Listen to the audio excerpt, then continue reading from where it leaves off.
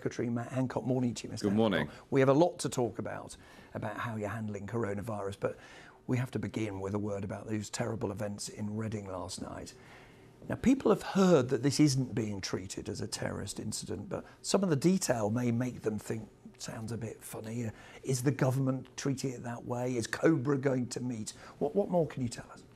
Well, obviously, my first thoughts are with the family and the friends of those who've lost their lives and the those who are currently uh, being treated uh, for the injuries that they suffered. Um, this is not currently being treated as a terrorism incident, uh, but of course we're closely monitoring the situation. Uh, I've spoken to the Home Secretary, and the Prime Minister will be uh, engaging with those police who are leading this on the ground later today. The, it's a police operational matter now, so obviously I can't go further into any of the details, uh, but all I can say is that we will be seeking to bring the full force of the law to, to bear on the perpetrators. But it's something that the Home Secretary and Prime Minister need to take an interest in, not something they can simply say.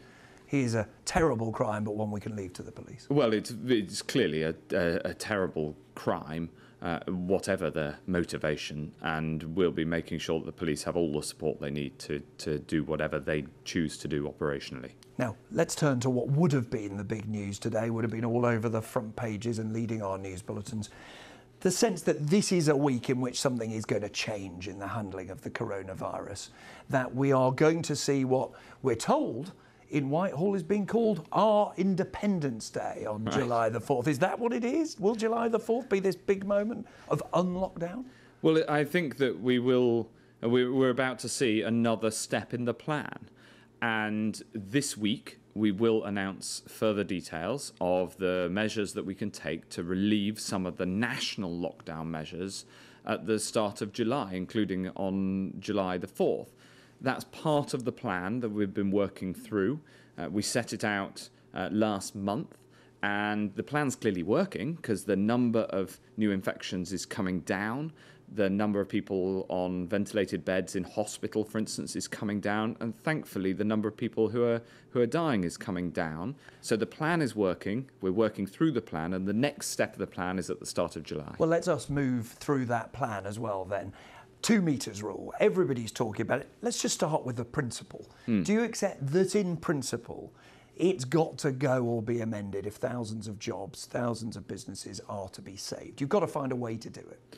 Well, I very much hope that we can, and that review will uh, will come to bear this week, and we'll be setting out further details this week on the on on the measures in that space. Now, just to be clear, what you mean by that, though, you mean if I'm watching and I'm a pub owner or a cafe owner or have a B. B&B, I'll have the answers. It won't just be, oh, we'll wait for another review and a document and a regulation. That's You'll right. tell me this week. You can reopen without the two metre rules, providing you do this, this, and this. Yes, we're going to set out those details absolutely this week. And uh, look, I get the the problems with the two metre rule, of course. Ultimately there are problems with the fact that there's a virus, and the challenge for the for the country, for all countries, is how to get as much of normal life as possible going again. All the things that we care about. You know, it's, it's Father's Day today. I wish I could go to the pub for lunch as I normally would on Father's Day with the family, and I'm sure you do too. And the how do we get as much of these things that people love back in a way that is safe and doesn't lead to the resurgence of the virus as we've seen in some other parts of the world. Well, let's talk about what that way or ways may be. You and I are here two meters apart. There's tape all over here. We're yeah. being very careful, yeah. as so many people are. If in the future we wanted to, to be closer so that a business could open or a restaurant, would we have to put a mask on, for example? Would that be necessary? Well, there's all sorts of mitigations that you can put in place to uh, be physically closer than two meters, but not have the transmission of the virus or the risk of transmission that you would otherwise have. So, for instance, we've seen in lots of uh, the retail that's open, lots of shops, perspex screens. Obviously, you can be closer than two meters with a perspex screen, and the risk of transmission is very, very low. Masks also uh, make an impact, hence the rule that masks must be worn on public transport and in hospitals. Um, and there's also there's other mitigations that you can put in place as Well, well. back to back, I mean, it wouldn't make for a very good interview if we sat back to back. Well, it wouldn't make for a very good pub lunch either, but back to back is much safer than face to face. Just so I've got clarity before we move on, this will all be written down. If you do this, this, this, and this, two metres, it's gone. Well, we're going to set all of that out this week. Now, what will worry some people listening to that is they'll think, well, hold on a second, I remember the chief medical officer saying the two metre rule is going to carry on for as long as this epidemic continues. They might remember the chief scientific advisor saying the risk at one metre is 10 to 30 times higher than the risk at two metres. So they may be rather alarmed by this change. Well, uh, I think there's two ways to respond to that. The first is that, of course, we're learning more about the virus all the time, and the decisions that we take will be, of course, guided by the science as we have been throughout this. Um, and also, the second thing to say is that um, the the proposals that we'll bring forward are how you can safely safely uh, reduce uh, the two meters without with the sort of mitigations that we've been talking about. Guided by the science is an interesting choice of phrase. Have they signed it off?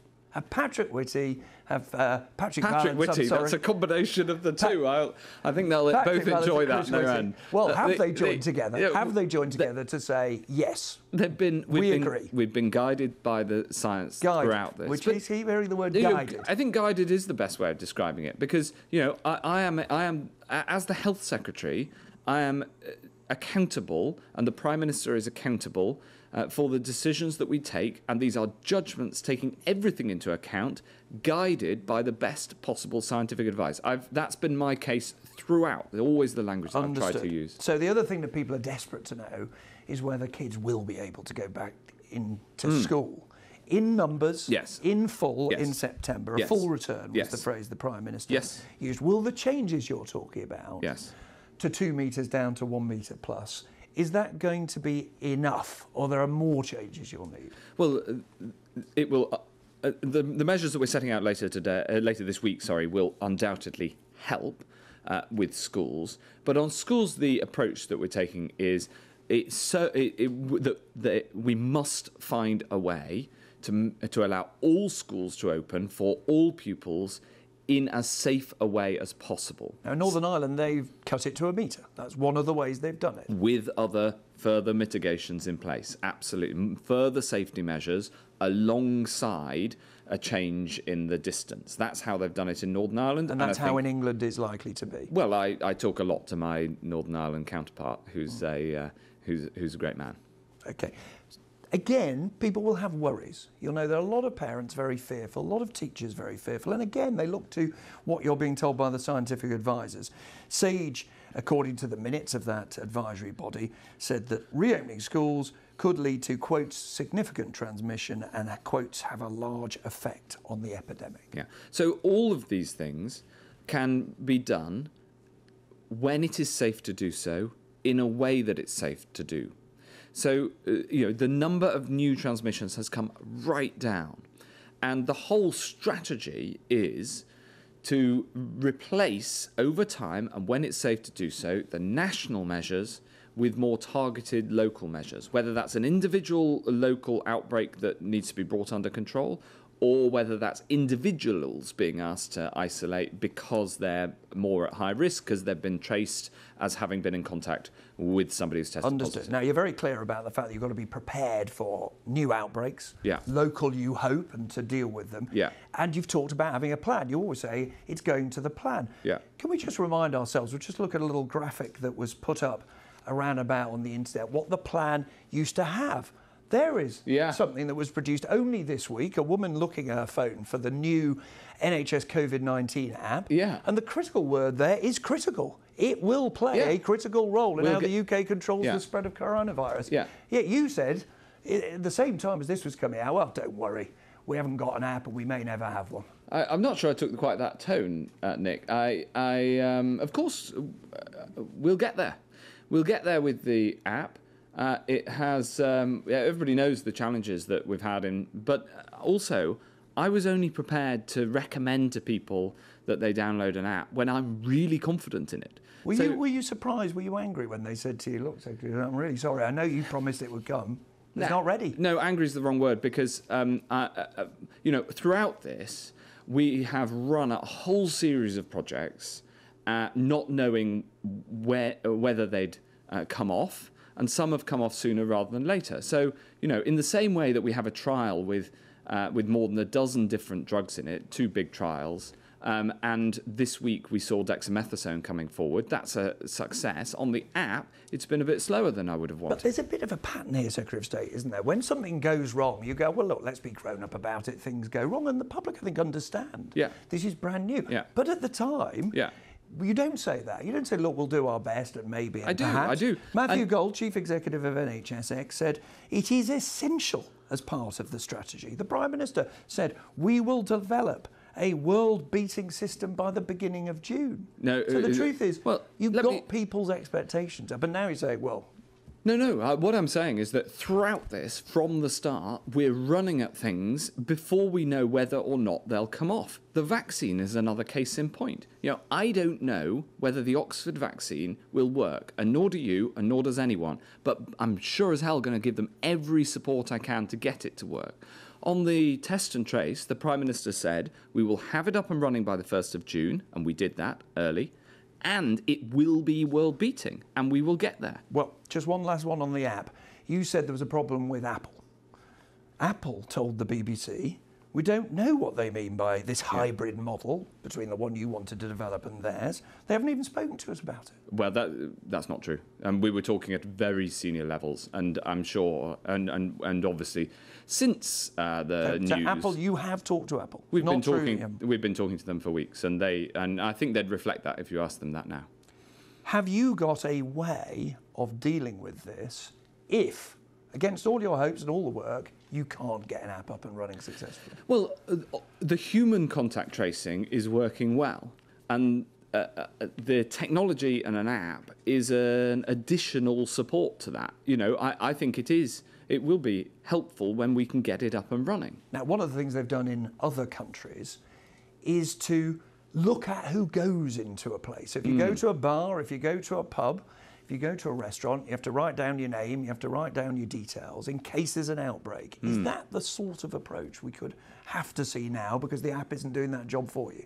Mm, well, I certainly wouldn't rule that out because that's it's not linked to the app. It's uh, but it is an additional way that you can do contact tracing so that you can find people who might have been at risk, and it, it plays into the broader strategy.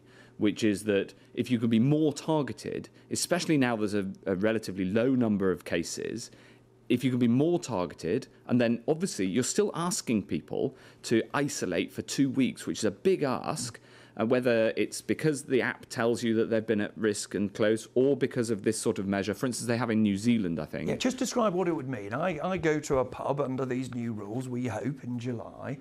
What would I then be required to do? Uh, well, this is something that they're done in New Zealand, and uh, what happens is that you simply ensure that the uh, when you take a restaurant booking, for instance, you take a contact, uh, uh, contact details, so that if somebody tests positive and has been in that uh, in that um, venue, uh, in in proximity, you'll be able to contact the people who might be at risk, and that then makes it safer to be able to lift other measures. As I say, this isn't uh, you know there, there's lots of ideas out there. That's one of them, yeah. Uh, and without the app, obviously, the importance of testing and tracing becomes even more important. I just Yeah. want to show you another graphic that's been coming up at Downing Street day after day, if I could now, which is about the issue of testing. You'll see there, that's the daily update Mm. Yeah. we get each day. Yeah. And it gives us the number of tests, but under people tested, unavailable, Yeah. unavailable. Because in the end, the guys who were in charge of statistics said the numbers we were getting were positively misleading. Yeah. So Why the, can't we know this data? Uh, so the people tested data is harder to get than the number of tests uh, because it it's a measure of whether it's the first time somebody's been uh, tested. And uh, so somebody could have been tested a long time ago and then retested. Um, and so uh, it, I want to get these statistics right. And you had a discussion with Ian Diamond earlier on this programme. And therefore, we're not prepared to publish uh, statistics unless we're comfortable with them and very and confident that they are accurate. It has been a month. I mean, people understand it's difficult, but it's been a whole month since that Uh, was last. yes, but in that time, we've also introduced much more testing. So uh, The, I think the reason it worries people is it's a knock to people's confidence. And a lot of the things we've seen, it feels like a U turn to people on the app. I know you're saying it is, and that's what it feels like to many people. On testing, they think, oh, the figures are a bit dodgy, and now they're not coming up with new figures. It makes them think, I'm not sure people are being quite straight with me. Yeah, I, I disagree with this, and actually, I agree with Ian Diamond, the national statistician, who said, uh, uh, on the contrary, um, we're using data in this crisis like never before in terms of the in terms of how we're using it to underpin the decisions that we make, in terms of the sheer quantity of information and transparency that we're putting in the public domain. Now, I strongly agree with the need for high quality use of statistics. I think it's incredibly important. Um, and when we're building the testing program, we built it at record pace, getting up to that, you know, now 200,000, 230,000 tests you saw there each day. Of course, putting in place the, uh, the data measures to be able to get high quality statistics out is another part of building that system, and it, and it Yep. does take time. Another thing that knocks people's confidence is if they think it's one rule for you and another rule for somebody else. And there was that image, wasn't there, of you coming up to someone Oh, in the yeah. House of Commons, and here we are. I There know. are, putting your hand on the back of someone. Just, I, I know. Uh, it was just totally natural. You know, this shows how difficult social distancing is. Right? I know these rules inside out, and um, I hadn't seen my colleague for for weeks, um, and I really like him. So I walked up, and it was totally natural. And then, as you can see, we saw, we thought, oh, oh, oh, oh, oh, Right. hold, hold on, But and immediately, immediately, I'm sure you understand this. They think if even the health I know, can't I remember know, the rules, I know. All I can do, to all I can do is say I'm incredibly sorry for this momentary breach. It's because I'm human, and we're all human, and I'm and it sh- I- I'm no less determined to follow the rules because of because of a because of a, a momentary breach. One last question. It's not in your area of responsibility, but it is important for you as the spokesman effectively for the government today. The Community Secretary, Robert Jenrick, has had criticism about overruling a planning inquiry, saying that he would give permission for a planning development uh, and then it was overruled. Now, the reason I raise it with you today is his defence was look, he sat next to a rich guy, happens to be a Tory donor at a dinner, Richard Desmond, and said uh, that uh, he wouldn't really discuss it. We now know he had a four minute video was played to him of this thing. Isn't it time we just got all the facts out there on this? Get all the paperwork. Well, Mr. Jenrick uh, uh, answered questions for an hour in the House of Commons this week, uh, and I think you know he's put out a statement about this, which is perfectly reasonable. That, that he was he uh, he was put on a table with Mr. Desmond. He didn't know that that's where he was sitting uh, uh, before. So I think his explanation is is entirely reasonable. Matt Hancock, Secretary of State for Health and Social Care, thank you very much indeed.